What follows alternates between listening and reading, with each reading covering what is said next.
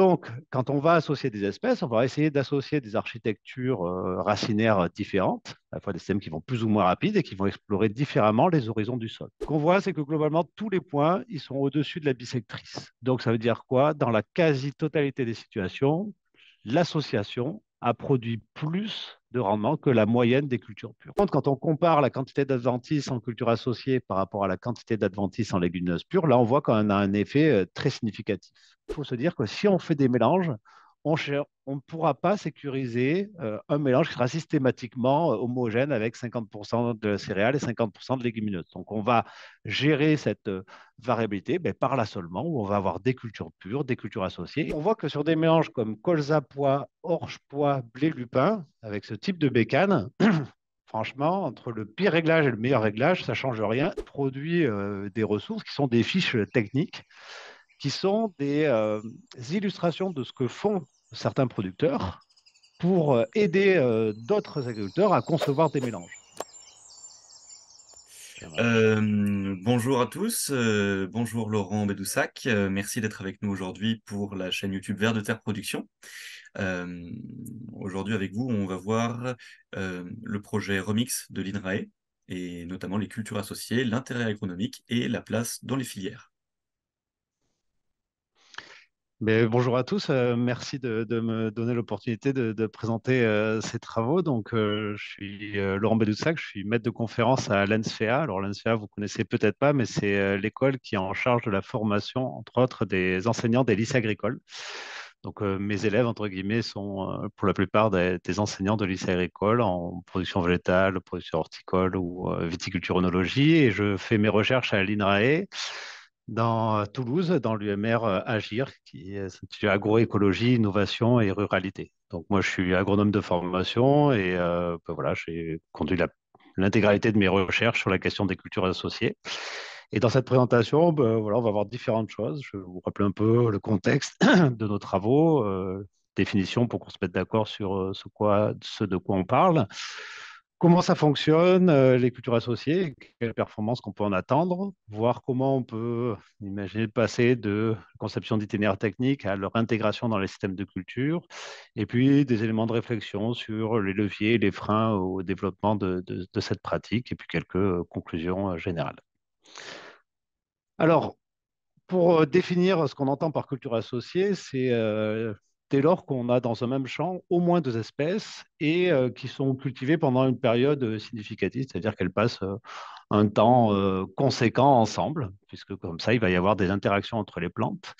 Et ça peut être vu comme une application pratique de les principes de l'écologie pour valoriser les ressources naturelles et réguler les facteurs biotiques partant du constat que bah, dans les milieux naturels faiblement anthropisés, il y a quasiment jamais une seule espèce, mais une diversité d'espèces qui cohabitent.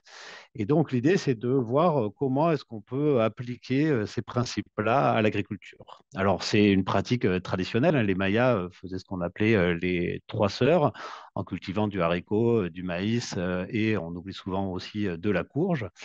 Mais cette pratique, elle a été plus ou moins perdue, abandonnée avec l'intensification de, l'agriculture, mais elle reste développée encore dans un certain nombre de pays et dans nos agricultures occidentales, conventionnelles, elle reste présente dans les systèmes notamment avec de l'élevage.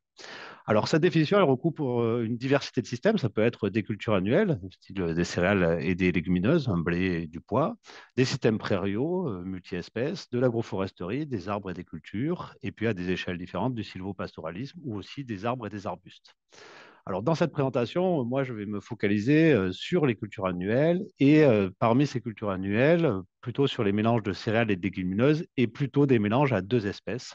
Donc, on voit qu'en fait, je traite qu'une petite partie euh, d'un système beaucoup plus, plus vaste. Alors, pourquoi vouloir faire de, des associations de culture?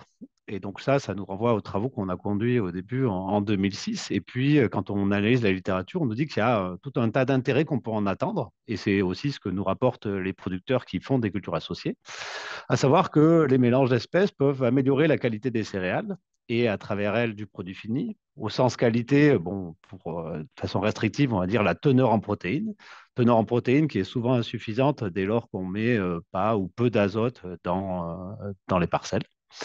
C'est aussi un moyen d'accroître et de stabiliser les rendements face aux aléas climatiques, mais aussi face aux aléas biotiques.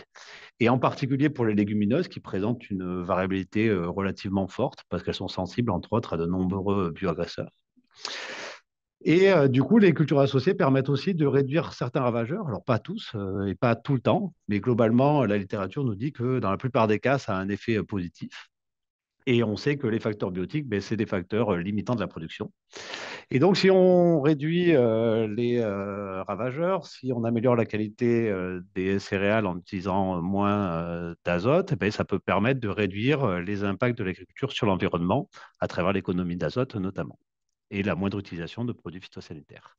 Et d'un point de vue des productions animales, ben, c'est aussi un levier pour améliorer euh, l'autonomie protéique euh, euh, des, élevages. Et ces intérêts sont amplifiés dans les systèmes à bas niveau d'intrants. Et à bas niveau d'intrants, je dirais même plus à bas niveau d'azote. Et donc, ça exprime un potentiel qui est particulièrement visible en agriculture biologique, parce que dans les systèmes biologiques, ben, on n'a pas le levier euh, chimique et on n'a pas le levier euh, des euh, engrais minéraux. Alors, quand on met deux espèces ensemble dans une parcelle, chaque espèce elle a une finalité écologique, c'est de se reproduire, de produire des graines et donc de se développer. Et donc les plantes, elles vont d'abord être en compétition. Alors que si on voit le petit schéma en haut, hein, on va mettre ensemble une céréale et une légumineuse, ou plusieurs céréales, plusieurs légumineuses, et ces deux espèces euh, vont euh, se battre, entre guillemets, pour acquérir l'azote minéral du sol. Quand on regarde ce que ça donne d'un point de vue euh, comptable, vous avez ici la quantité d'azote par hectare acquise par une céréale pure, par une association et par une légumineuse seule. Et là, on voit que ben, les trois cultures ont la même capacité à acquérir l'azote minéral du sol. Et on est dans des situations à faible disponibilité en azote, puisque là, l'azote acquis par ces cultures est de l'ordre de 70 kg d'azote, donc ce n'est pas beaucoup. Et ça, c'est une synthèse qui a été obtenue sur une soixantaine d'expérimentations conduites pendant une dizaine d'années dans euh, trois régions, euh, Toulouse, Angers et au Danemark. Et l'autre élément intéressant, c'est quand on regarde la composition euh, dans l'association, on voit que la majorité de l'azote minéral du sol, il est acquis par la céréale et dans une moindre partie, donc, euh, par la légumineuse. Donc ça, ça veut dire que euh, la céréale, elle est plus compétitive que la légumineuse pour acquérir l'azote minéral du sol parce qu'elle a un système racinaire plus profond, parce qu'elle se développe plus vite. Et donc, en termes de compétition, on va dire que c'est la céréale qui gagne. L'intérêt d'associer des céréales et des légumineuses, c'est que la légumineuse, elle a la capacité d'utiliser euh, l'azote atmosphérique de l'air, et donc ça va permettre d'avoir une complémentarité entre les espèces, puisque la légumineuse, ne pouvant pas acquérir une grande partie de l'azote minéral du sol, elle ben, va euh, répondre à ses besoins en allant chercher euh, de l'azote atmosphérique. Et donc, quand on rajoute sur le graphique la quantité d'azote issue de la fixation symbiotique, dans l'association et dans la légumineuse, ben on voit que l'association et la légumineuse, elles acquièrent plus d'azote que la céréale seule. Parce que la céréale seule, elle n'a que l'azote minéral du sol disponible, alors que dans l'association et dans la légumineuse seule, on a en plus de ça l'azote atmosphérique de l'air qui peut être acquis. Alors, un autre élément, euh, quand j'ai commencé mes travaux et puis quand je discutais avec euh, les producteurs, euh, on pensait que voilà, si la céréale améliorait sa teneur en protéines, c'était parce que la légumineuse était euh, sympathique et euh, prenait une partie de l'azote atmosphérique qu'elle avait fixé, elle le donnait à la céréale. Alors ça, il y a des collègues à Angers notamment, et puis d'autres qui ont fait des expérimentations en pot pour voir s'il y avait de tels transferts qui existaient entre les plantes. Et on observe qu'en fait, il n'y a pas de transfert. Les plantes, elles ne sont pas branchées l'une sur l'autre et elles ne se donnent pas euh, de l'azote. Et on va dire que c'est assez logique d'un point de vue écologique. C'est que la légumineuse, elle a dépensé de l'énergie pour acquérir l'azote atmosphérique de l'air. Et donc, il n'y a pas de raison, entre guillemets, pour qu'elle le donne gratuitement à la céréale. Donc, si on améliore la teneur en protéines de la céréale, c'est essentiellement parce qu'on va euh, faire moins de rendement de céréales en culture associée qu'en culture pure, mais en contrepartie, il va y avoir la même quantité euh, d'azote disponible, puisque la légumineuse va laisser la majeure partie de l'azote minéral du sol disponible pour la céréale. Mais ce n'est pas parce que la légumineuse donne de l'azote à la céréale. Alors, ces complémentarités et euh, ces compétitions qu'on a vues ici euh, à travers l'exemple de l'azote, ben, on les retrouve euh, pour la composante aérienne, pour l'utilisation de la lumière. Ben, les plantes, elles doivent acquérir de la lumière pour produire faire de la photosynthèse, produire de la matière sèche et derrière produire du rendement. Et quand on va associer des plantes, on a ici la quantité de lumière qui est acquise au cours du temps. On voit qu'au début, ben, c'est la céréale qui est la plus performante pour utiliser de la lumière parce que ça se développe un petit peu plus vite, elle a un peu redressé. À l'inverse, le pois protéagineux, ben, en début de culture, il végète, hein, il, a du, met du temps à se développer. Par contre, en fin de culture, il a un développement relativement dense, jusqu'à ce que, dans certaines conditions, il s'effondre et il verse. Et l'association, qui est la courbe entre les deux, on voit qu'en début de culture, elle est assez proche du blé. Elle fait un petit peu moins bien que le blé, mais elle est assez proche. Et en fin de culture, elle est un petit peu moins bien que le pois, mais euh, elle en est assez proche. Et donc, au global, l'association, elle va être capable de mieux utiliser la lumière parce qu'elle va bénéficier de cette dynamique de croissance euh, différente euh, des deux espèces. Et donc, si elle utilise, elle est capable de capter plus de lumière, elle va être capable de capter plus, de produire plus de biomasse et donc potentiellement plus de rendement. Alors ce résultat, hein, j'insiste, il est vrai là dans des situations à faible disponibilité en azote, parce qu'on voit que le, blé, là, il est à seulement 70% de la lumière qu'il est capable d'utiliser, alors que si c'était un blé fertilisé, on serait euh, proche de 100%. Donc cette complémentarité pour la lumière, elle se trouve ici à exprimer parce qu'on a euh, peu d'azote disponible. On retrouve ce même type de complémentarité d'un point de vue euh, racinaire. Vous avez ici la profondeur des racines euh, et envers la profondeur des racines du pois au cours du temps. Alors là, on est dans un sol qui fait 1,20 m de, profondeur. Hein. Après, on est sur de la mollasse. Et on voit que bah, des prélèvements qu'on a fait, donc là, on se met en novembre, mesure qui a été faite ici début février, on voit que la racine la plus profonde du blé, elle est déjà à 80-90 cm, alors qu'au même moment, la racine la plus profonde du pois, elle est autour de 40 cm. Donc ça veut dire que toutes les ressources qui sont sous les racines du pois, elles ne sont accessibles que pour le blé. Donc, quand on va associer des espèces, on va essayer d'associer des architectures euh, racinaires différentes, à la fois des systèmes qui vont plus ou moins rapides et qui vont explorer différemment les horizons du sol. Alors là encore, attention, hein, ici, cette complémentarité, elle s'exprime parce qu'on a un sol qui fait 1,20 m de profondeur. Si on avait un sol de euh, seulement 40 cm, on n'aurait pas cette complémentarité puisqu'on aurait les racines qui seraient intermêlées sur l'ensemble du profil euh, cultural. Donc là, on a vu un petit peu voilà, la, théorie de comment ça marchait, le principe de compétition, complémentarité. Mais ce qui intéresse les producteurs, c'est OK, mais à la fin, est-ce que ça produit euh, réellement plus? Alors là, c'est toujours le même jeu de données que j'utilise, hein, 10 euh, années d'expérimentation, 60 expérimentations, avec plein de densités différentes, euh, avec des précédents différents, donc des disponibilités en azote différentes en agriculture biologique, mais là, ce qui est important, c'est qu'on était euh, en situation avec globalement peu d'azote disponible, et on a comparé ici le rendement total de l'association, donc c'est-à-dire la céréale plus la légumineuse, en fonction du rendement moyen des cultures pures conduites dans la même parcelle, dans les mêmes conditions. Donc on avait d'un côté une parcelle de légumineuse, une parcelle de céréales, et une parcelle des deux espèces mélangées.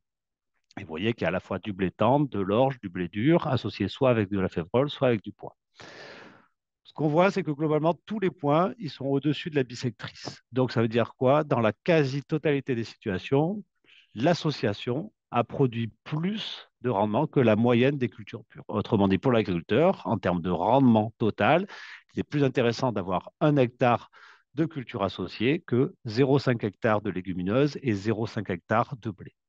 C'est-à-dire qu'on peut avoir des situations où on fait le même rendement de céréales en culture associée et en culture pure, et généralement, cette situation, on n'a euh, pas ou peu de légumineuses.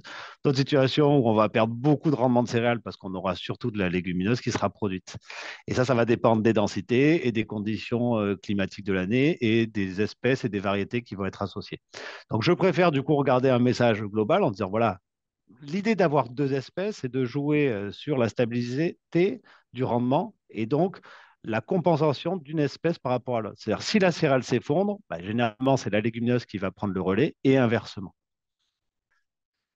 Alors, le rendement, c'est une chose, mais qu'en est-il de la qualité de la céréale? Qualité, hein, j'entends ici teneur en protéines de la céréale. Donc là, on a comparé toujours dans le même jeu de données la teneur en protéines de la céréale en association en fonction de la teneur en protéines de la céréale en culture pure.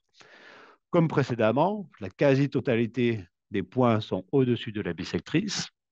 Donc, ça veut dire qu'on a quasi systématiquement une meilleure teneur en protéines pour la céréale quand elle est associée à une légumineuse que la céréale qui est cultivée seule dans les mêmes conditions. Ce qu'on remarque par ailleurs, c'est que quand on a des très fortes teneurs en protéines en culture pure de céréales, bah, l'association, elle ne fait pas de miracle. Autrement dit, l'association, elle ne change pas le fonctionnement écophysiologique de la céréale. Et pour avoir de très fortes teneurs euh, en azote, en protéines pour la céréale pure, ben, c'est qu'on est dans des situations où on a soit une disponibilité en azote qui est élevée, soit qu'on a un rendement faible par rapport à la quantité d'azote disponible. Donc ces situations-là, ce n'est pas celles qui nous intéressent le plus. Celles qui nous intéressent, c'est plutôt celles qui sont en bas de la courbe. C'est des situations où on a des faibles teneurs en protéines pour la céréale pure.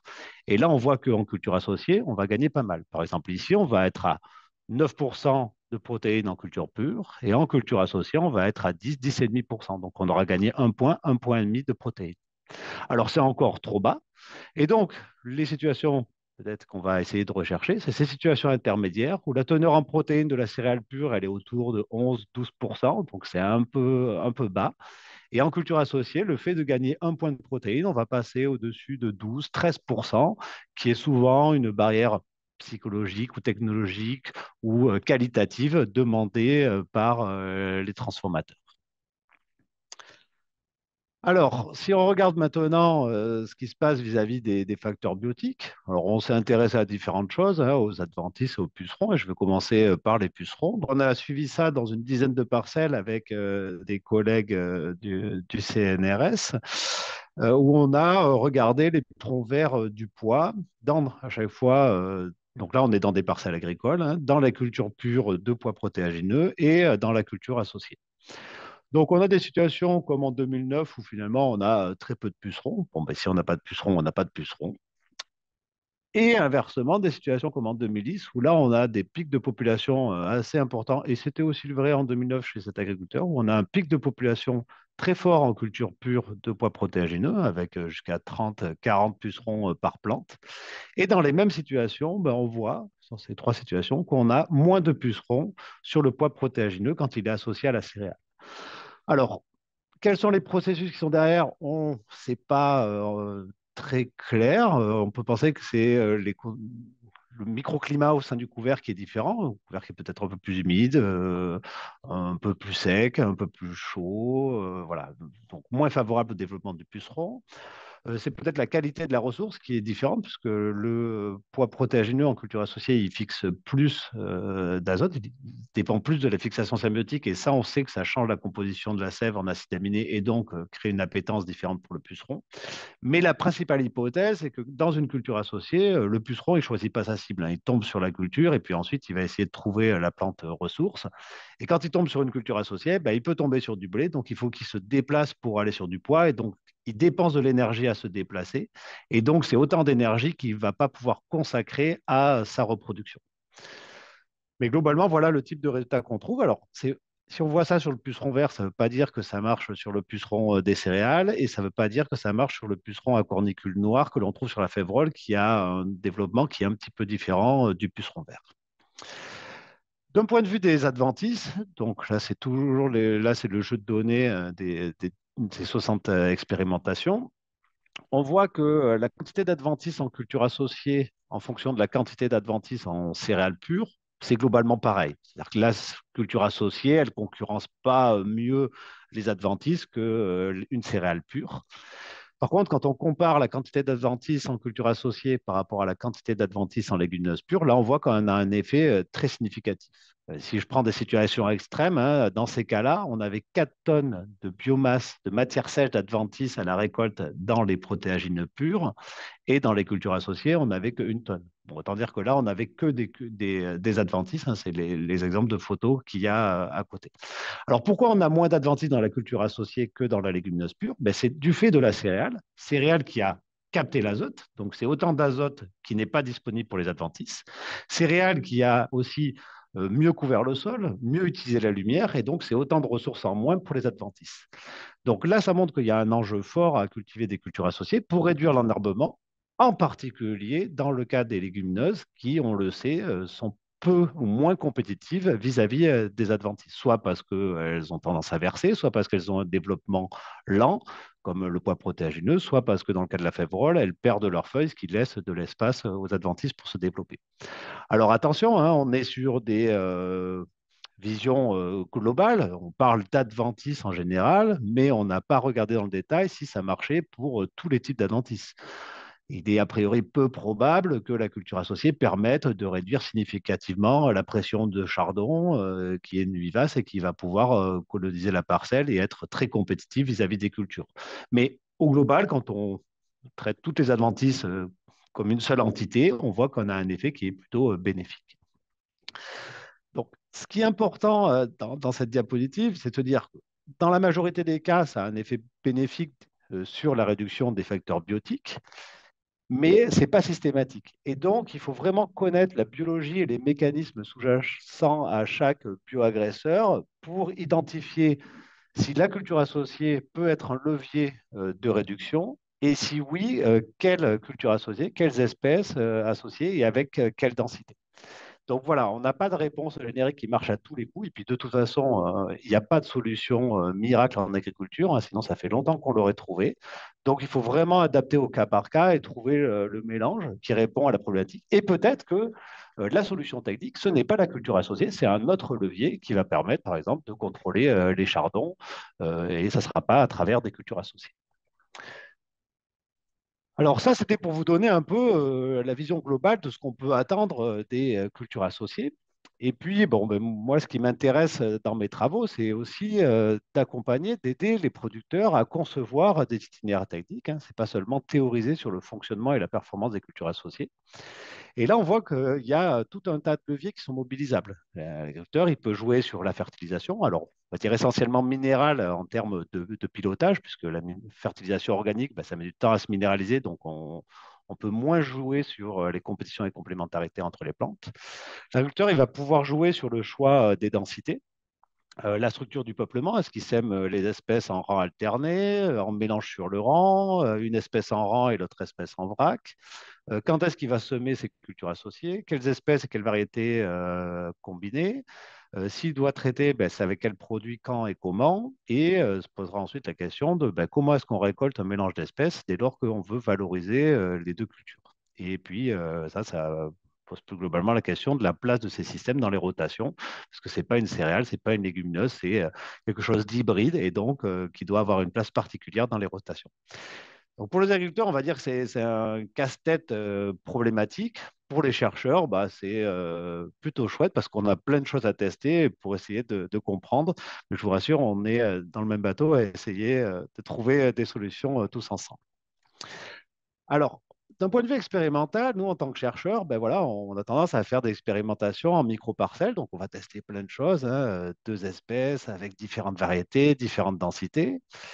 Et puis, on se rend compte que ben, voilà, ça, ça nous prend du temps. Il va falloir faire deux, trois années de suite pour avoir des données qui sont relativement stabilisées. Et euh, ben, peut-être que les producteurs, ce n'est pas euh, ce mélange-là qui les intéresse. Et peut-être que les producteurs, ils ont euh, d'autres idées que nous, chercheurs, n'avons pas pensé, imaginé.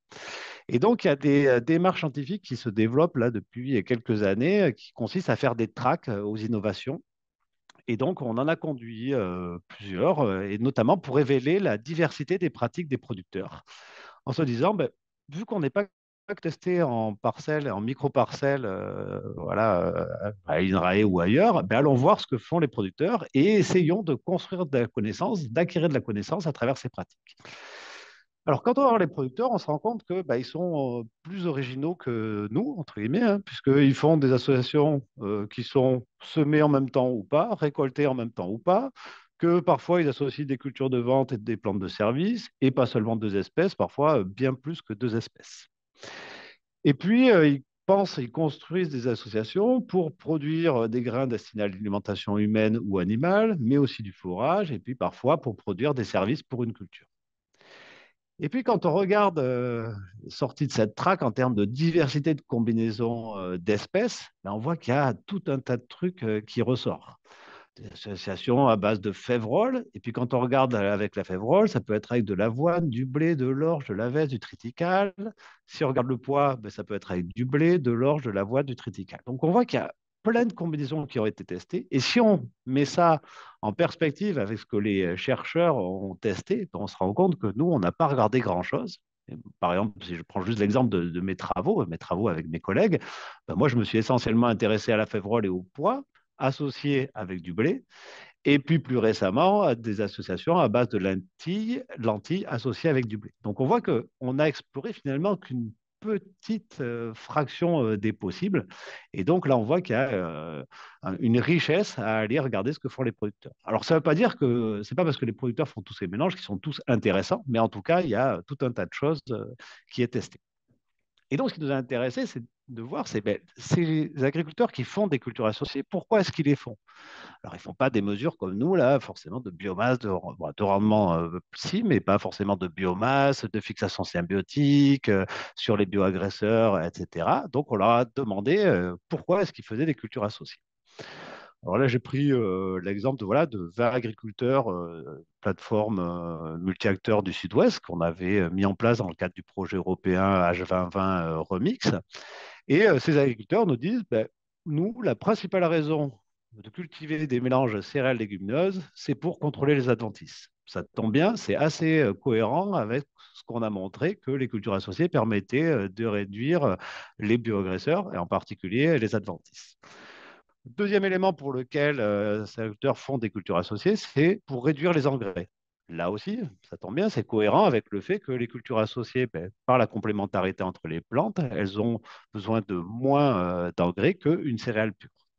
Et puis, il y a d'autres éléments, hein, c'est euh, stabiliser le rendement, qui rejoint aussi ce que donnait la littérature, et notamment de la légumineuse, réduire le temps de travail, puisqu'on voit finalement ce que font les producteurs, la plupart, quand ils font des cultures associées, c'est des pratiques, entre guillemets, simples, hein. ils vont avoir tendance à semer et à récolter, et à pas faire beaucoup d'opérations techniques sur la culture associée pour pouvoir dégager du temps, au contraire, sur des cultures plus techniques ou sur des cultures à plus forte valeur ajoutée.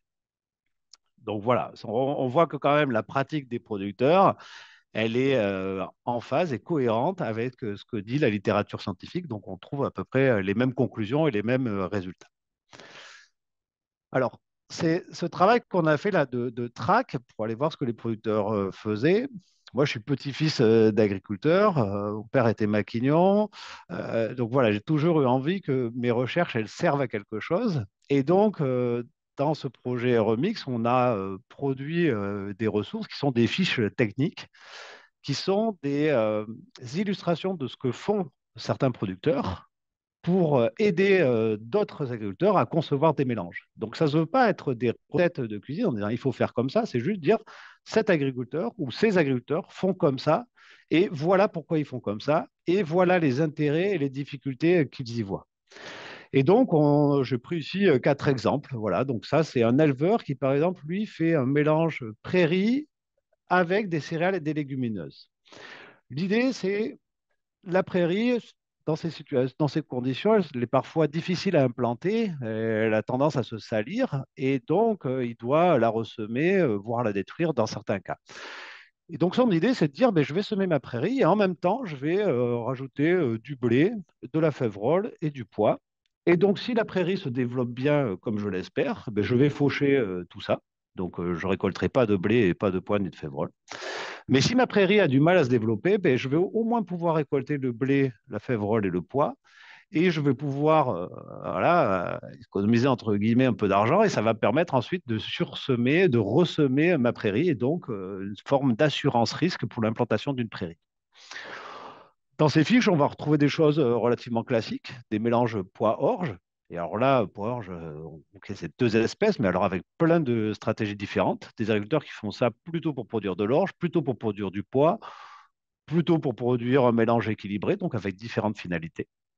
Et ça, c'est ce qu'on retrouve classiquement en alimentation animale. Hein. C'est un mélange qui va ensuite pas être trié, qui va être donné directement à, consommer euh, aux animaux.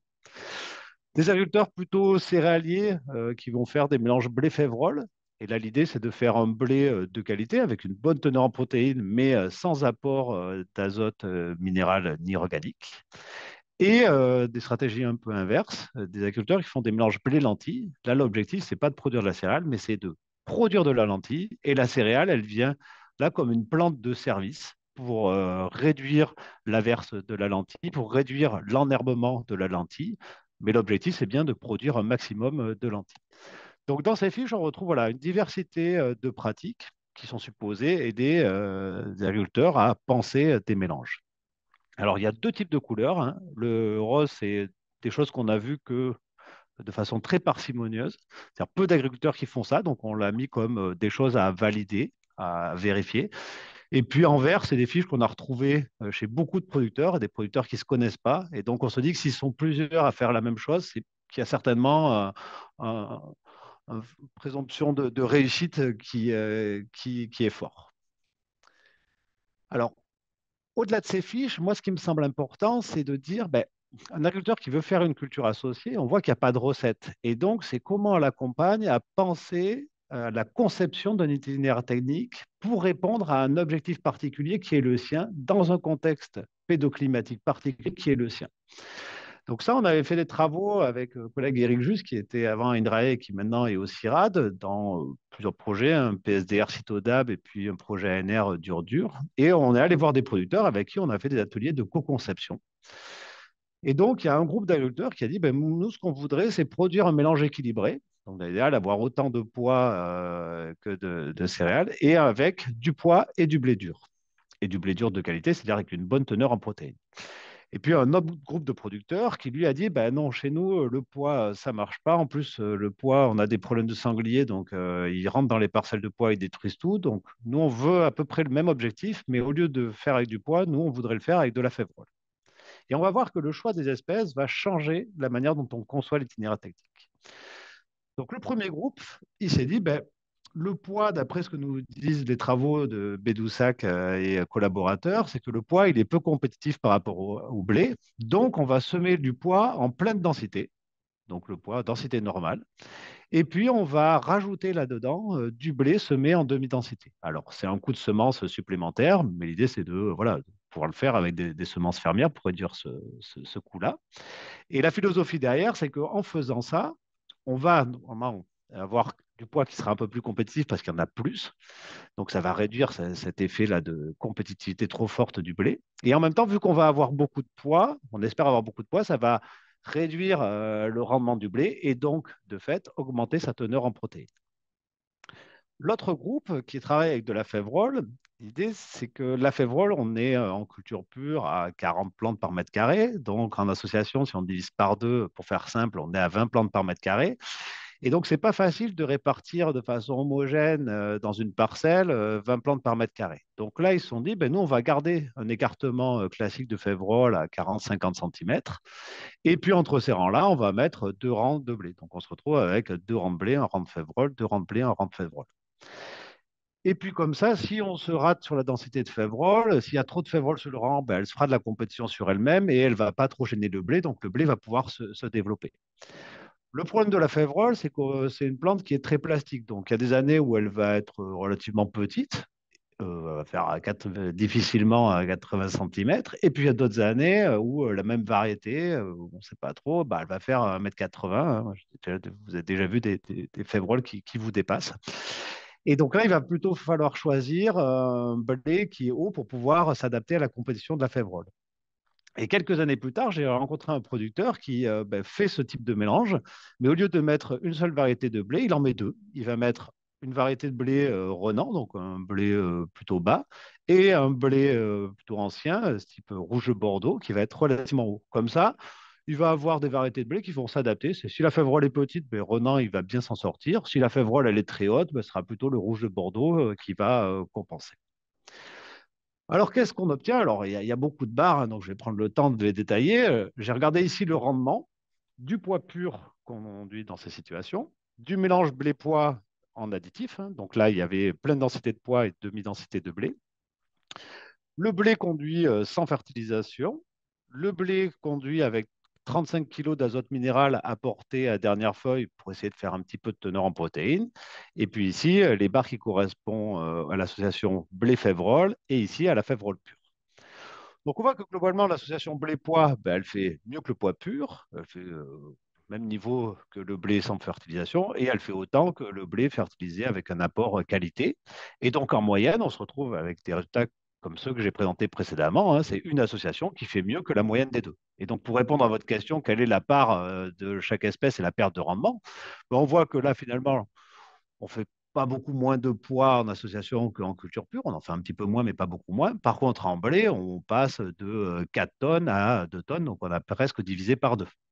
Mais ça, c'est ce qu'on a obtenu une année. Si je refaisais ça une deuxième année, etc., on pourrait avoir des situations très différentes avec une année où on aurait 75% de blé et puis une autre année avec 25% de blé. Donc, ce qui est important, c'est plutôt la stabilité du rendement total. Par contre, la composition, euh, elle est très variable et ça, je pense qu'il faut l'accepter. Il faut se dire que si on fait des mélanges, on ne pourra pas sécuriser euh, un mélange qui sera systématiquement euh, homogène avec 50% de céréales et 50% de légumineuses. Donc, on va gérer cette euh, variabilité ben, par l'assolement, où on va avoir des cultures pures, des cultures associées, et tout ça permettra de produire la quantité voulue, souhaitée de céréales et de légumineuses.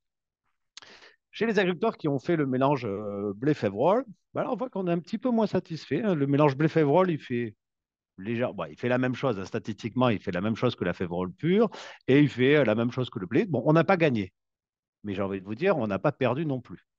Et ça, c'est un élément très fort, c'est que dans la majorité des cas, ce qu'on voit, c'est que l'association, elle fait mieux que les cultures pures, et c'est très rare que l'association fasse beaucoup moins bien.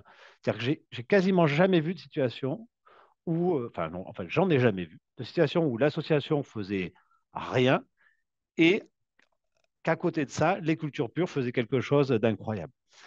C'est dans l'association, il y a de la, complémentarité entre les plantes, ce qui fait que s'il y en a une qui s'effondre, les deux s'effondrent. Et si les deux s'effondrent, c'est aussi le cas des cultures pures, c'est que les conditions climatiques de l'année faisaient que c'était une année catastrophique pour les producteurs. Et puis, en termes de. Voilà, l'objectif, c'est d'avoir un mélange ben, comme je disais, là, ce n'est pas le cas. On a un mélange euh, où il y a essentiellement de la févrole et euh, peu de céréales. Alors, comment on peut expliquer ça hein? Ben Là, dans ce cas-là, c'est très simple à expliquer. C'est qu'on avait un lot de semences qui était de très mauvaise qualité pour la céréale. On a eu un taux de levée qui était de l'ordre de 20-30%. Donc, on n'a pas du tout euh, eu la densité de peuplement de blé qu'on voulait. Donc, finalement, on avait très peu de blé dans notre mélange. Et donc, c'est pour ça qu'on se retrouve avec essentiellement de la févrole. Donc, ça aussi, c'est pour montrer que, bah, voilà, euh, vu qu'il y a peu de blé, bah, il y a plus de févrole qui se développe parce qu'elle prend euh, l'espace qui est laissé euh, par la céréale. Et en termes de teneur en protéines, bah, voilà ce qu'on a obtenu. Hein. On a ici le mélange, le blé dans le mélange blé-févrole, le blé dans le mélange blé-pois, le blé avec 35 kg d'azote minéral dernière feuille et le blé non fertilisé. Donc, on était ici à 12% de protéines. En mettant 35 kg d'azote minéral, on a gagné un demi-point de protéines. Mais dans la culture associée, on est à 14. 14 sans fertilisation. Donc, on a gagné deux points par rapport au blé non fertilisé. Et dans le cas de la févrole, on est passé à 15, on a gagné trois points. Alors, pourquoi on a gagné plus euh, dans la févrole C'est parce que ici, le rendement du blé, il est trois fois inférieur à celui du blé pur. Donc, on a beaucoup moins de blé produit. Mais rappelez-vous, la légumineuse, elle laisse quasiment tout l'azote minéral du sol disponible à la céréale. Donc, pour faire simple, on a trois fois moins de blé mais avec la même quantité d'azote disponible pour ce blé que pour ce blé non fertilisé. Donc, on augmente très fortement la teneur en protéines. Dans le cas du blé pois, ben, on a aussi un gain, mais qui est un petit peu moins élevé parce qu'on a moins perdu de rendement. Donc ça, ça veut dire quoi? Ça veut dire que si on veut gagner fortement sur la teneur en protéines du blé ou de la céréale, il faut accepter de perdre beaucoup sur le rendement. C'est-à-dire l'association, ça ne change pas, et je l'ai déjà dit, le fonctionnement écophysiologique du blé. C'est-à-dire que le blé, il a besoin toujours de la même quantité d'azote pour faire une tonne et pour faire de la teneur en protéines. Donc, on peut pas, voilà, il faut faire des choix et ça, ça va dépendre de l'objectif de l'agriculteur. Est-ce que c'est avant tout la teneur en protéines, avant tout le rendement? Et ça, ça va dépendre de son euh, débouché, euh, de s'il a des animaux ou pas, euh, voilà, donc de, tout un tas de choses. Mais malheureusement, voilà, je n'ai pas de solution miracle qui permet de faire des très hauts rendements et en même temps des très hautes teneurs en protéines. Donc, là, dans cette diapo, ce qui m'importe, c'est pas tant le résultat, parce que le résultat, il va dépendre des différentes années, mais c'est la démarche qui doit être pensée par le producteur qui veut concevoir une culture associée. Vu qu'il n'y a pas de recette, ben en fait, c'est la démarche qu'il faut appliquer pour essayer d'atteindre les objectifs. Et les objectifs ne seront pas toujours atteints. Mais j'ai envie de vous dire, c'est le même cas quand vous faites une céréale pure ou une légumineuse pure. Vous savez ce que vous semez, vous savez ce que vous faites dans votre itinéraire technique, mais malheureusement, vous ne savez pas ce que vous allez avoir comme rendement parce que ça va dépendre de l'année, des conditions climatiques, des facteurs biotiques, etc. Alors ensuite, on peut se poser la question de bah, quelle place ces cultures associées dans les systèmes de culture et notamment dans les rotations. Donc là, dans le cadre d'un projet ANR, projet ANR Micmac Design, on avait tenté de penser la diversification des rotations en partant de la rotation à deux espèces qu'on trouve voilà, dans la région où c'est beaucoup de blé dur, tournesol. Et un premier niveau de diversification, ce n'est pas à travers des cultures associées, c'est déjà d'introduire une nouvelle espèce, par exemple du sorgho, qui est une espèce plutôt rustique, et donc pour diminuer euh, l'azote et diminuer aussi euh, les produits phytosanitaires, et avec ou non l'introduction en plus de cultures intermédiaires pour éviter euh, les pertes d'azote et réintroduire de l'azote par la fixation symbiotique. Un deuxième niveau de diversification, c'était ben, à la place du sorgho, mettre par exemple une févrole, et là encore avec ou non des cultures intermédiaires. Et puis un troisième niveau de diversification, on va dire qui est plutôt un système pensé par et pour des chercheurs, c'était qu'avec des cultures associées, donc un mélange euh, pois triticale, blé févrole et tournesol soja. Je ne vais pas vous présenter les résultats de ces travaux-là, ce que je veux juste vous dire, c'est que ça, ce n'est pas la bonne idée. Et je veux vraiment que ma présentation, elle ne vous amène pas à penser que les cultures associées, c'est la solution miracle qui résout tout. Les cultures associées, c'est la mettre, la penser pour l'introduire au moment euh, où il y a une problématique qui peut être résolue par les cultures associées. Et ce n'est pas vouloir en mettre partout. Donc, concevoir une, culture, une rotation qu'avec des cultures associées, je pense que c'est une mauvaise idée. Par contre, de mettre une culture associée en fin de rotation, quand on a des disponibilités en azote qui sont basses, quand on a des problèmes d'enherbement, au regard de ce que je vous ai présenté avant, hein, euh, complémentarité quand il y a peu d'azote disponible et réduction de la plupart des facteurs biotiques, là c'est intéressant. Une autre manière de le dire, c'est que si vous êtes après une luzerne de 3 ans qui va euh, nettoyer la parcelle et qui va libérer beaucoup d'azote, mais mettez une céréale pure qui va valoriser cet azote et euh, profiter de cette parcelle qui est nettoyée. Et en fin de rotation, quand il n'y a plus d'azote et qu'il y a de l'enherbement qui s'installe, ben oui, là, pensez une culture associée en fonction euh, de euh, vos besoins, euh, donc à travers le, choix d'espèces adaptées.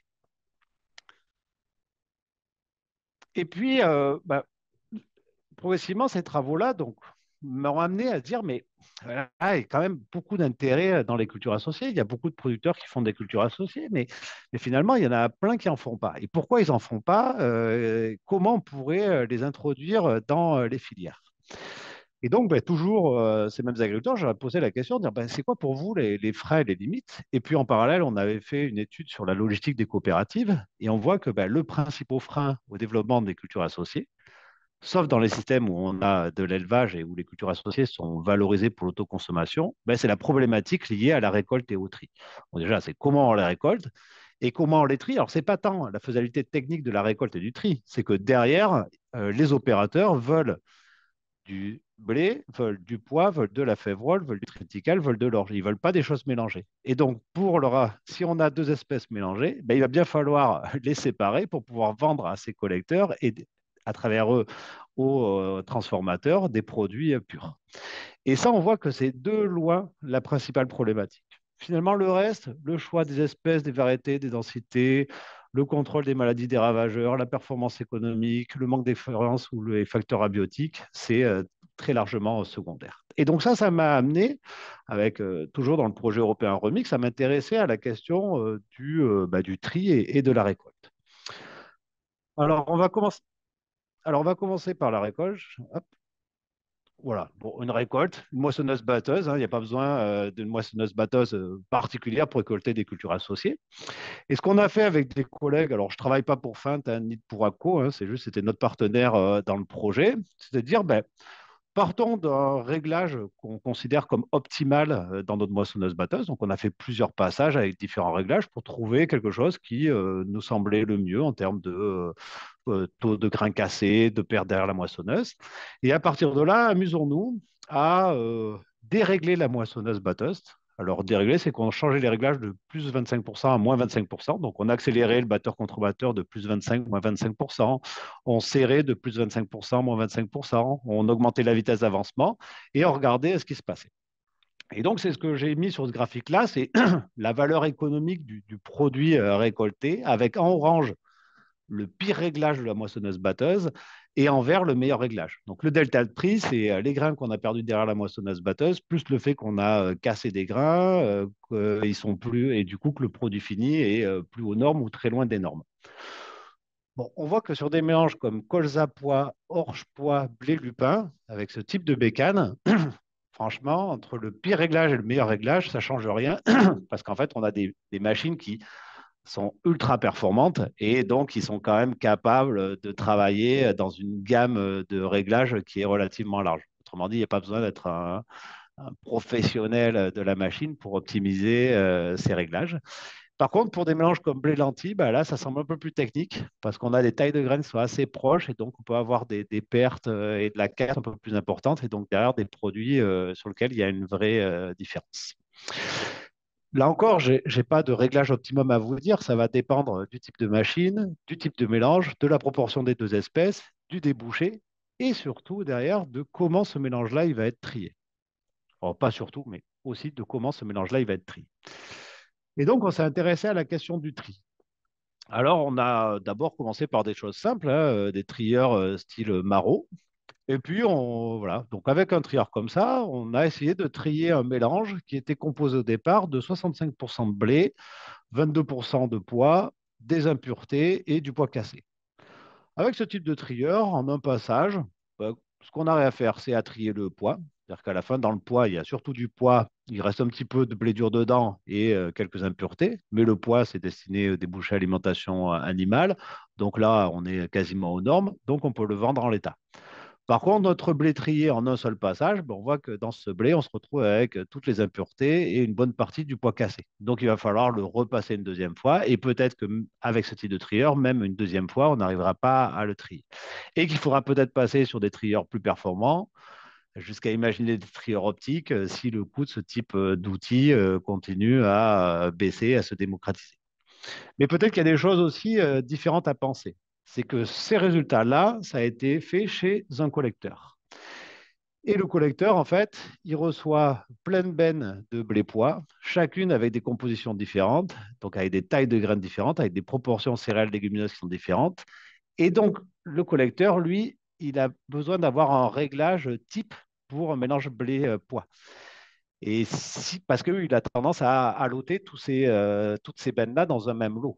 Et donc, il se retrouve avec un produit très hétérogène qui est du coup très difficile à trier. Et quand je discute avec des euh, producteurs qui font du tri à la ferme, ils me disent, mais moi, j'arrive à le trier, ce mélange-là. Alors, peut-être parce qu'effectivement, il va trier chaque benne séparément, qu'il va du coup trouver le bon réglage de grille pour chacune des bennes, et donc il a des contraintes qui ne sont pas les mêmes que celui du collecteur. Donc, ce n'est pas forcément que le collecteur ne euh, sait pas trier, c'est juste qu'il a des contraintes qui sont différentes. Il y a d'autres producteurs qui disent mais il faudrait penser des, euh, construire des d'autres moissonneuses batteuses qui font une sorte de pré-tri ou avec deux batteurs contre batteurs, comme ce qu'il y avait sur des vieilles euh, là où il y avait un petit batteur, euh, un batteur secondaire pour les petits, petits épis. Mais là, clairement, les fabricants de moissonneuses batteuses nous disent bah non, le coût de développement d'une machine il est trop élevé, donc on ne va pas faire développer des, des moissonneuses batteuses pour des cultures associées. Et donc, euh, comme dit euh, la, pub, il hein, euh, faut peut-être penser différemment. c'est se dire, ben, ce blé-là, là, bon, là, il est vraiment très sale. Hein, mais si on le repassait une deuxième fois, on arriverait peut-être à avoir 90-95% de blé et puis encore des impuretés du poids cassé. Mais du blé qui vient de culture associée, donc du blé qui a une bonne teneur en protéines. Eh bien, ce blé, il est de bonne teneur en protéines, mais il est sale. L'idée, c'est que sur la ferme, on a aussi du blé pur, du blé pur qui, normalement, est propre, mais avec une teneur en protéines qui peut être moindre. Et eh ben, si on mélange les deux ensemble, on dilue les protéines, on dilue les impuretés, et donc on peut imaginer d'avoir un produit qui euh, répond aux normes. On peut aussi euh, travailler sur le choix variétal. C'est-à-dire que là, on a beaucoup de poids cassés, alors peut-être parce qu'il est broché, mais peut-être parce que c'est un poids qui est aussi euh, sensible à la casse. Et donc, peut-être que si ce poids il est sensible à la casse, il ben, faut peut-être trouver euh, une céréale qui va être facile à battre, qui va nécessiter d'avoir une vitesse de battage euh, moins rapide et de moins serrer le batteur contre batteur. Et puis, peut-être qu'il faut accepter de ne pas vouloir tout séparer. C'est-à-dire que dans ce blé-là, il y a une partie qui est facile à enlever, Euh, et par contre, il y a une fraction où il y aura des petites brisures de poids qui seront la même taille du blé qui vont être très compliquées à trier. Et donc, plutôt que de vouloir trier l'intégralité euh, du blé, ben, c'est peut-être de trier ce qui est facilement triable et le reste de le garder comme un produit euh, où il y a du blé et du poids qu'on va valoriser vers l'alimentation animale. Donc, il y a une vraie problématique liée au tri je pense qu'elle n'est pas insolvable, mais elle est euh, complexe et elle est encore plus complexe que on passe sur des euh, canaux de commercialisation euh, classiques via coopératives qui derrière doivent vendre à des transformateurs qui ont des exigences particulières. Donc on a poussé cet exercice avec avec d'autres collègues, donc là encore, hein, je n'ai pas d'action chez les établissements Denis, mais des collègues des établissements Denis, c'est euh, un trieur euh, à plaque, un SVD 100, donc il y a deux étages de grilles. Chaque étage est composé de deux grilles différentes. Et puis, on a essayé ben, de reprendre les mélanges qu'on avait euh, moissonnés et de voir si, en les triant, on arrivait à gagner de la valeur. la philosophie derrière, c'est qu'en triant, on enlève les impuretés, on enlève les grains cassés, etc. Donc, les insectes, les escargots, et donc on, espère gagner de la valeur. Et donc, effectivement, vous avez ici la valeur du produit brut après récolte, sans tri, et en vert, la valeur du produit brut après séparation. Et là, on voit que quel que soit le mélange, ben, on va gagner de l'ordre de 100 euros la tonne. Sachant que là-dedans, j'ai inclus euh, le coût du tri. Alors, de mémoire, je n'ai plus en tête quelle valeur euh, prendre 10-15 euros la tonne. C'est un prix qui peut paraître bas, élevé pour certains. Voilà. L'important, c'est d'avoir des valeurs économiques qui sont claires et elles sont toutes indiquées dans le document qu'on a produit dans la plaquette où il y a les fiches techniques. Donc, trier permet de générer de la valeur ajoutée. Par contre, il y a deux messages forts. C'est un, trier, c'est du matériel, qui n'est pas forcément très onéreux. Hein. Un trieur comme ça, euh, ça vaut 15, euh, 000 euh, euros, je dirais, 20 000 euros, 30 000 euros avec toute l'installation autour.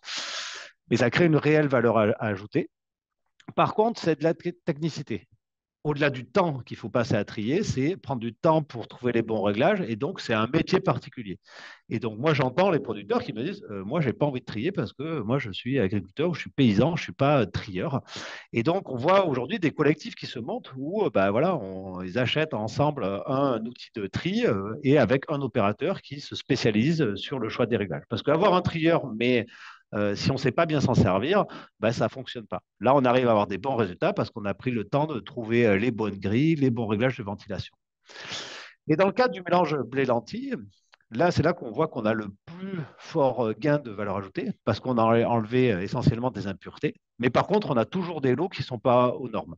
C'est-à-dire même avec deux passages, un premier passage pour nettoyer et un deuxième passage pour séparer, eh bien, dans la fraction de blé, on se retrouve avec 7% de lentilles et 7% d'impuretés. Et dans la fraction de lentilles, ben, on se retrouve avec 15% de blé et 20% d'impuretés. Pourquoi on a ça? C'est parce qu'en fait, on a deux espèces qui ont des tailles de graines euh, relativement similaires. La forme est différente, mais finalement, la largeur, l'épaisseur des grains est la même. Donc, si on met le truc ovoïde, ça, ça tombe dedans. Et donc, avec un type de trieur comme ça, à plaque ou euh, alvéole, euh, rotatif, style maro, on n'arrive pas à séparer ce type de mélange. Donc, le tri peut créer de la valeur ajoutée si on est sur des espèces qui ont des tailles de graines ou des formes de graines vraiment différentes. Et donc là, dans le cas d'un mélange blé-lentilles, la seule manière d'arriver à le trier pour le mettre aux normes, mettre la fraction de blé aux normes et la fraction de lentilles aux normes, c'est ensuite de passer sur un trieur optique. Et donc là aussi, là, c'est un coût euh, supplémentaire. Un trieur optique, aujourd'hui, c'est... Euh, pareil, ça s'est fortement démocratisé, hein, euh, mais on dire une entrée de gamme avec un débit de 3-4 tonnes, on est à 20-30 000 euros. Quoi. Euh, donc à minima, et avec un, voilà, un débit qui n'est pas celui euh, d'un type de nid. Et puis il y a toute l'installation autour. Donc ça se démocratise, mais euh, voilà, c'est encore quelque chose de complexe. Donc il y a certains mélanges. Donc ça aussi, quand on réfléchit à la conception de l'itinéraire technique, il faut garder en tête quel est le débouché du produit. Est-ce qu'il va falloir séparer le produit? Si oui, est-ce qu'on a le matériel disponible? Si on ne l'a pas, qui va faire le tri et à quel coût pour se dire est-ce que c'est rentable? Clairement, passer euh, du euh, hors-poids sur un trieur optique, c'est pas rentable. Euh, même avec si le coût du matériel a baissé, c'est pas rentable. Par contre, du blé lentille avec une lentille, surtout en agré bio où on va une lentille triée, on va la valoriser à plus de 2000 euros la tonne, donc triée aux normes, une lentille prête à consommer. Bah là, du coup, on peut passer sur des trieurs optiques parce qu'il y a une vraie valeur ajoutée qui est créée. Et donc, dans cette idée de, machinisme euh, et toujours de, de track aux innovations, ben, on a continué le processus. Et là, en ce moment, dans le projet européen qui vient de débuter, hein, toujours un projet H2020, donc, qui s'appelle Intercrop Values, avec deux collègues euh, de, Paris, de l'INRAE, du MR euh, s'adapte, on s'intéresse aux machines qui sont conçues, adaptées ou bricolées par les agriculteurs. Donc toujours l'idée de eh ben, donner à voir à d'autres ce qui a été fait pour leur donner des idées notamment ben, comment les agriculteurs ont réussi à bricoler des outils euh, pour pouvoir semer euh, des mélanges. Voilà, je vais prendre quatre exemples. Hein. Euh, la construction d'un semoir de compartiment, l'adaptation d'un semoir de semi-direct, la construction d'un semoir de semi-direct et puis le détournement d'un distributeur d'engrais.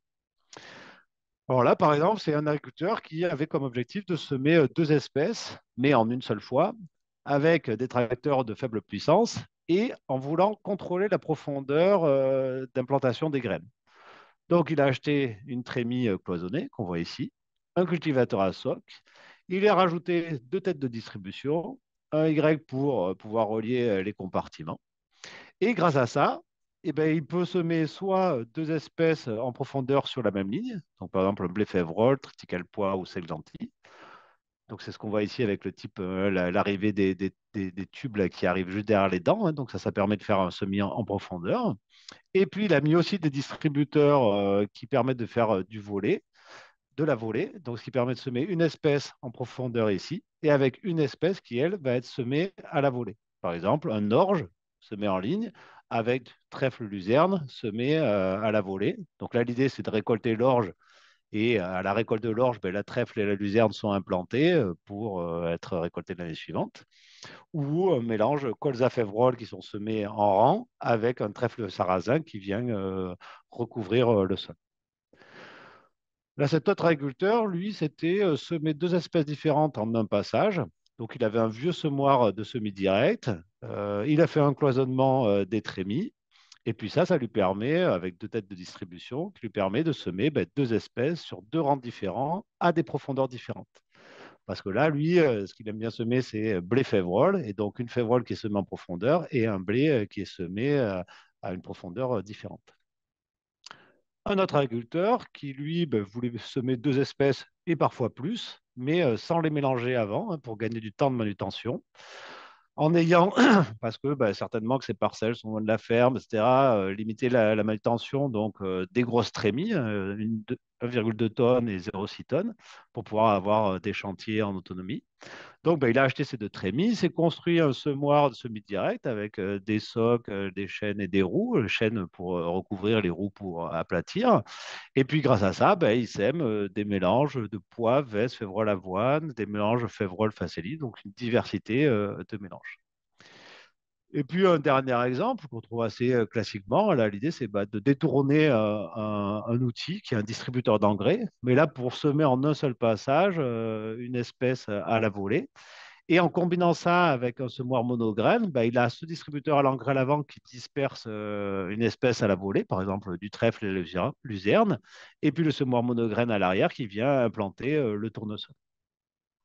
Donc là, ce travail-là, il est en cours, hein, on vient juste euh, de le commencer. Hein, euh, et l'idée, c'est bah, de, produire, comme on l'a fait pour les fiches itinéraires techniques, bah, des fiches euh, matériels, alors hein, bien sûr dans le respect des, normes de sécurité, etc., hein, et qui se veulent plus être des exemples de ce qui est possible pour donner des idées à d'autres. Donc euh, voilà, si vous avez euh, de votre côté bricolé, du, adapté, transformé du matériel, que ce soit tout seul ou en collectif, ben, n'hésitez pas à vous faire connaître, ça, ça, nous intéresse. Donc, pour conclure, hein, on voit que le développement des cultures associées, en fait, euh, c'est pas, il y a de l'agronomie avant tout, c'est de l'agronomie, clairement, mais qu'on voit que progressivement, il faut intégrer euh, d'autres dimensions. Et donc, si on résume un petit peu, euh, voilà, cette présentation, alors voilà, je, rappelle, est encore très générique. C'est, c'est pas, voilà, je n'ai pas des réponses concrètes à chacune de vos situations, mais c'est pour vous donner l'éventail euh, du possible. Et ensuite, j'ai envie de vous dire, rapprochez-vous euh, des euh, techniques, des chambres d'agriculture, des, des instituts de recherche qui ont fait des choses plus proches de chez vous et sur des thématiques plus proches, et surtout vos voisins paysans qui font des mélanges. Mais globalement, quand on regarde tous ces travaux, voilà, on a un gain de rendement et de qualité qui est attendu et qui va s'exprimer plutôt quand on n'a pas ou peu d'azote disponible.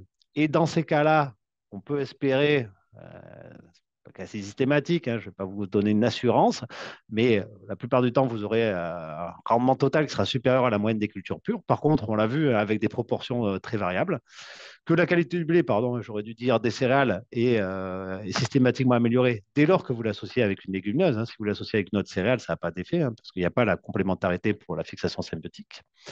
Vis-à-vis des facteurs biotiques, bah oui, globalement, vous pouvez vous attendre à avoir moins d'enherbement que dans la légumineuse mais ça va dépendre aussi des types d'adventices. Euh, moins de pucerons verts, mais par contre, sachez que euh, sur les travaux qu'on a conduits, il n'y a pas d'effet sur les cytones et pas d'effet sur les bruches. Donc ça, c'est un sujet, les bruches euh, sur lequel je, travaille aujourd'hui avec différents collègues, parce que ça devient une problématique majeure, et en particulier sur une culture comme la lentille. Et malheureusement, on n'a toujours pas trouvé de solution, malgré plusieurs années de, recherche là-dessus. Et vis-à-vis des maladies, ben, c'est pareil, on va avoir globalement un effet plutôt positif, euh, mais dans certains cas, euh, ça peut accroître les maladies. Donc, euh, ce n'est pas systématique, c'est globalement positif, mais ce n'est pas systématique. mes préconisations, entre guillemets, hein, c'est si on fait des céréales légumineuses, bah, il faut limiter la fertilisation. Si vous conduisez des céréales légumineuses avec une fertilisation élevée ou dans des situations où il y a beaucoup d'azote, ben, vous il vaut mieux faire une céréale parce que c'est la céréale qui va être capable de valoriser ça. Euh, sur les densités, les structures de peuplement, honnêtement, euh, a posteriori, on peut dire quelles auraient été euh, les meilleures densités, les meilleures espèces et variétés associées, mais a priori, c'est très compliqué. Donc, si vous commencez, j'ai envie de vous dire, faites 50-50, euh, voyez ce que ça donne. Et avec l'expérience en fonction de votre terrain, progressivement, vous allez trouver les densités qui euh, permettent d'atteindre euh, vos, vos, objectifs le plus souvent. Mais ça, là encore, ne sera pas systématique, je suis désolé. Et surtout, mon maître mot, c'est que l'agronomie ne doit pas être oubliée. Donc, ce n'est pas parce que vous faites des cultures associées qu'il faut oublier les bases. Donc, il faut continuer d'alterner les familles. Moi, je reste convaincu que c'est impossible de prédire euh, les proportions euh, des espèces à la récolte, parce qu'on l'a vu, ça dépend euh, énormément du contexte pédoclimatique. Donc, on peut mettre en œuvre des itinéraires techniques qui ont statistiquement le plus de chances d'atteindre les proportions visées. Par contre, il n'y a pas de certitude. Mais rappelez-vous, pour vos cultures pures, c'est la même chose. Vous ne savez pas en début d'année exactement quel rendement vous allez faire. Et donc, les cultures associées, c'est pareil. Hein. On ne peut pas prédire ni le rendement final, ni la composition. Et donc, ça, ça veut dire quoi? C'est que la gestion du risque, elle ne se fait pas que par les cultures associées, elle se fait bien évidemment par le raisonnement autour de l'assolement et de la diversification de vos pratiques. Donc, plus vous avez de cultures diverses dans vos exploitations, plus vous minimisez le risque de faire face à un aléa climatique ou biotique problématique. Alors, il nous reste quand même tout un tas de choses à faire. Impliquer les sélectionneurs. Alors, au sens large, c'est qu'en fait, la, réflexion, c'est c'est quoi les variétés à associer? Aujourd'hui, la seule chose que je peux vous dire, c'est que la meilleure association, ce n'est pas l'association des meilleures variétés. Quand on fait des tests où on prend les meilleures variétés de céréales, les meilleures variétés de légumineuses, sur le critère que quel que soit le critère que vous définissez pour être, dire que c'est le meilleur. Et quand vous les combinez, ça ne fait pas forcément la meilleure combinaison. Parce que, bah, voilà, il y en a une qui va être trop petite, trop grande, euh, trop tardive, trop précoce. Et donc là, il y a des collègues plutôt à Rennes qui travaillent pas mal sur cette question. Euh, pas pour dire c'est telle variété, telle variété, mais c'est telle caractéristique qui est préférable d'associer avec telle caractéristique. Et ça, ça va dépendre des espèces. Euh, ce n'est pas la même chose si c'est un blé avec un pois ou un blé avec févrole, on va pas chercher les mêmes complémentarités dans les traits. Donc là, il y a un gros travail avec les sélectionneurs et globalement, euh, toutes les personnes qui travaillent sur euh, le choix variétal. Proposer des outils adaptés. Donc voilà, l'idée c'est que les fabricants de matériel agricole, il y a peu de chances qu'ils développent, en tout cas pas tout de suite, des outils spécifiquement dédiés aux cultures associées. Et les quelques-uns qui existent ben, sont à des prix très élevés, donc ben, ça passe peut-être par du bricolage. La place dans le système de culture, alors sur l'effet précédent suivant, on voit que voilà, il y a encore pas mal de choses qu'on ne connaît pas. Et puis il y a tous les travaux sur les associations avec les plantes de service, hein, où là, on va plutôt être dans l'idée de récolter une seule des deux espèces qui enlève, la problématique euh, de tri et, de récolte, mais qui pose d'autres questions hein, sur euh, qu'est-ce qu'on associe comme plante de service. Euh, des choses sur lesquelles on, je n'ai pas d'action, mais qui me questionnent, c'est sur bah, les soutiens donnés aux cultures associées. C'est-à-dire comment c'est reconnu, euh, mis en œuvre, soutenu dans la PAC, parce que c'est quand même une pratique qui permet de stabiliser les rendements, d'améliorer la teneur en protéines, de réduire les facteurs biotiques, de réduire les produits phytosanitaires, l'utilisation des engrais. Et pour autant, euh, c'est pas forcément valorisé, tous ces services ne sont pas forcément bien valorisés à travers des, des aides dont on sait, dont on connaît la nécessité. Et puis, euh, tout ça, ça pose aussi la question bah, du rôle des transformateurs et des consommateurs. On l'a vu, hein, y compris enfin, en production euh, d'aliments euh, pour les, les animaux. Euh, les fabricants d'aliments, bah, ils préfèrent avoir euh, du blé, du pois, de la févrole, du soja, etc. pour fabriquer l'aliment plutôt que des mélanges qui sont euh, déjà pré, préexistants. Et donc, peut-être qu'il faut penser à l'ouverture de nouveaux produits. hein. Euh, voilà, on le voit quand on va dans certains euh, supermarchés, on voit des, produits à base de des pâtes à base de farine de légumineuses mélangées. Sauf que derrière euh, ces produits, euh, ça a été, c'est des farines qui ont été réallotées. C'est des farines de légumineuses, des farines de blé, et on remélange des farines. Mais on ne travaille pas directement avec un produit euh, qui est euh, un mélange de graines. Parce que ben, mélange de graines dans un moulin, il ne se comporte pas de la même manière que chaque graine séparée et que c'est compliqué de caractériser la composition du produit. Donc euh, voilà, c'est pas qu'il n'y a pas la volonté de le faire, c'est aussi parce que euh, c'est quelque chose de complexe, parce que les outils industriels sont dimensionnés pour avoir quelque chose, sont adaptés à des produits relativement standards, normalisés. Et donc peut-être que ça, ça peut passer par de la contractualisation et la diversification de, l'offre. Et donc ça, c'est des travaux qui sont développés par des collègues, notamment euh, économistes chez nous à, l'UMR Agir. Et on voit que voilà, c'est compliqué. Donc moi, je suis plutôt sur la partie euh, amont, et puis, euh, mais en ayant quand même un regard sur la partie aval et en voyant ben, comment est-ce qu'on peut euh, aider, favoriser le développement. Donc ça sera ma, ma dernière diapo. Hein. C'est juste pour vous gardiez en tête que voilà, euh, ça c'est le document qu'on a produit dans le cadre du projet Remix. Donc c'est dans ce document que vous pourrez trouver euh, 52 fiches techniques, et j'insiste, issues d'expériences d'agriculteurs. Donc elle est disponible euh, en ligne euh, tout le temps, en français et en anglais. Et au format papier, j'ai fait une demande de, réimpression. Donc si vous, en voulez, ben, il suffit de m'envoyer un mail. Et puis si vous avez des questions diverses et variées, il suffit de m'envoyer un mail. J'essaierai d'y répondre euh, plus vite euh, que possible. Et puis voilà, comme je disais, si vous avez bricolé du matériel, actuellement c'est un peu mon dada, donc je suis preneur. Et puis si vous avez euh, vu des choses que nous n'avons pas vues euh, dans nos travaux de recherche, ben, on est aussi preneur parce qu'on croit beaucoup à la conception et au fait que c'est tous ensemble qu'on pourra euh, contribuer à la meilleure connaissance sur ces mélanges d'espèces et à leur développement. Donc euh, voilà, je vous remercie pour votre écoute et je reste disponible pour répondre à vos questions. Merci beaucoup pour cette présentation complète. Euh, J'aurais peut-être une question complémentaire. Quelqu'un qui, hum, qui veut se lancer, est-ce qu'il y a des groupes qui existent, des groupes de travail qui peut contacter pour euh, pouvoir poser des questions? Est-ce que les collectifs de tri pourraient aussi répondre à des questions? Alors, il, doit certainement exister des, collectifs euh, structurés. Je n'en connais pas euh, en tant que tel. Alors, ce que je veux dire, c'est que dans ce document, il y a des fiches qu'on considère comme stabilisées parce qu'on a tellement d'agriculteurs qui le font que je me dis qu'il n'y a pas beaucoup de risques à se lancer. Et je pense que c'est sur ce type de mélange qu'il faut commencer. Et que quelqu'un qui veut se lancer, la meilleure expérience, c'est l'expérience du terrain. Par contre, il faut commencer euh, petit et pas trop ambitieux. Si vous dites, tiens, la culture associée, ça m'intéresse, eh ben, là où vous avez prévu de faire une culture pure, eh ben, vous passez un train de semoir où euh, vous mettez un mélange de graines. Et puis vous regardez, vous avez vos propres indicateurs, vos propres perceptions de ce qui fonctionne, ce qui ne fonctionne pas. Et pour faire simple, au départ, vous partez euh, moitié-moitié, alors, sauf sur certaines choses très particulières, comme je l'ai dit tout à l'heure, hein, euh, lentilles associées avec du blé. Là, on est sur 100% de lentilles avec un petit peu de blé, mais sur les autres mélanges, pour faire simple, on commence à 50-50 et on regarde ce qui se passe. Et puis, vous faites ça sur différentes parcelles, euh, des parcelles à faible potentiel, des parcelles à plus haut potentiel, et c'est vous qui allez vous acquérir euh, votre expertise.